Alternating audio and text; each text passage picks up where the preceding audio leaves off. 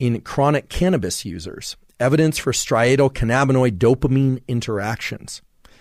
Many people with ADHD use or abuse cannabis, not just while people are using cannabis, but depending on how long they've been using cannabis across their lifespan, the rates of eye blinking change. If you look at the number of years that people have been using cannabis on a regular basis, either daily or up to, uh, excuse me, weekly or up to daily, what you find is that for people that have not been using cannabis at all or have only been using it for about two years, their rates of eye blinks are much higher than people who've been using it chronically for 10 years. In other words, people who've been using cannabis for 10 years don't blink very often at all. Now, cannabis has well known effects in depleting memory, but it does seem to engage the focus and blinking system in a way that increases focus.